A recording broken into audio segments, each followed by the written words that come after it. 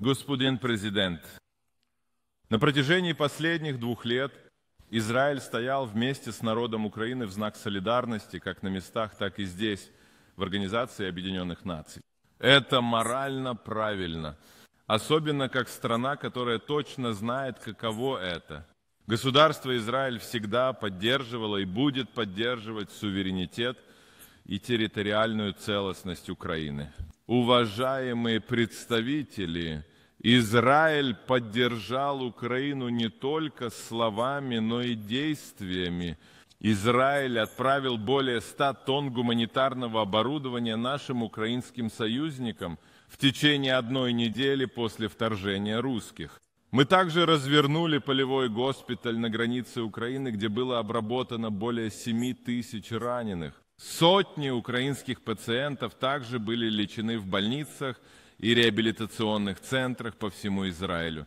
От программ реабилитации до посттравматической терапии украинцы получили лучшую возможную заботу, которую Израиль может предложить. Израиль также работает над предоставлением Украине систем раннего предупреждения беспорядочной ракетной и дроновой атаки. Мы были вынуждены развить экспертизу в этой области. И мы рады делиться нашими возможностями с нашими украинскими друзьями, которым это необходимо.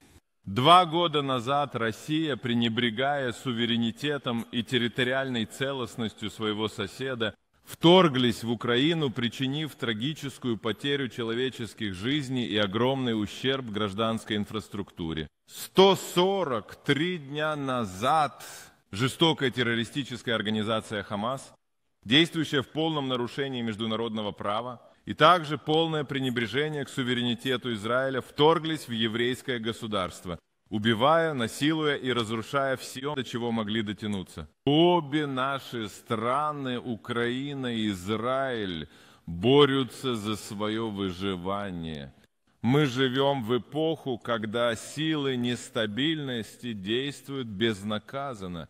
Международное право к черту, мораль к черту, и мир, и безопасность им.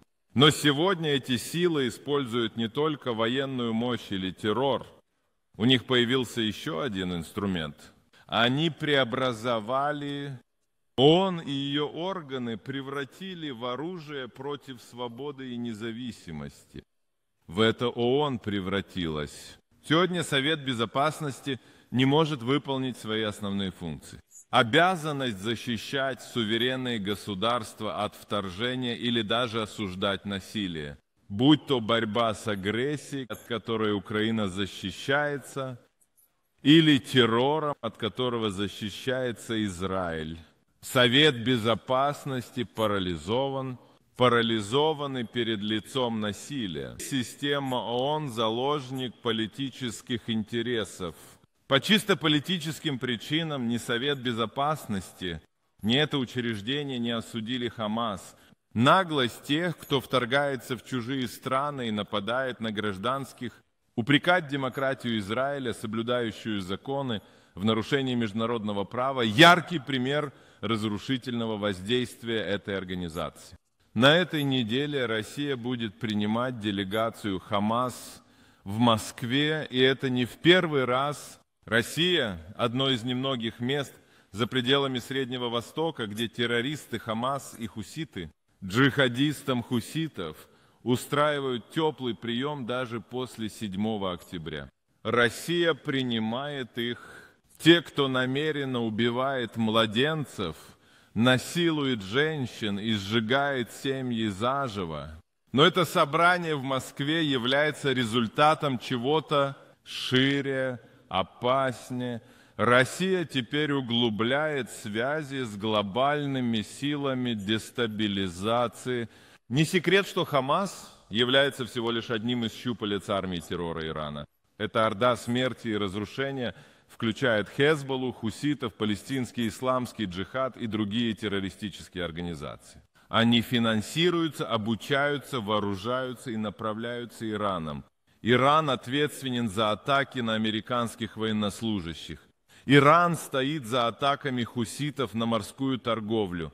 А это Иран снабжает Россию дроны, атакующие украинских граждан. Сосредотачиваясь на словах, а не на действиях, Альянс укрепляется, а международное сообщество остается бездействующим.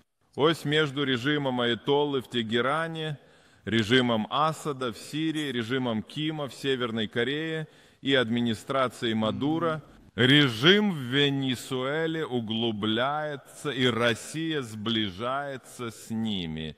Эти страны теперь демонстрируют солидарность, в то время как свободный мир стоит в стороне разделенный. Вы не видите, что перед нами стоит. Вас не волнуют наши ценности интересы.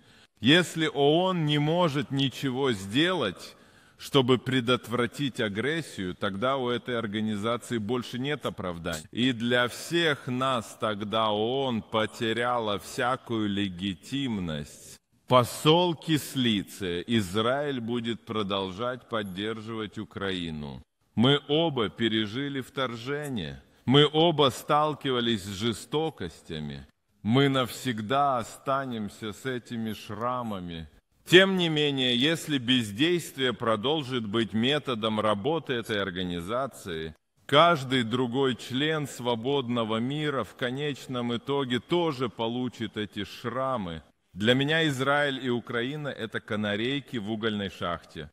Остальному свободному миру я говорю, мы канарейки в угольной шахте. Проснитесь, проснитесь! Спасибо, господин президент.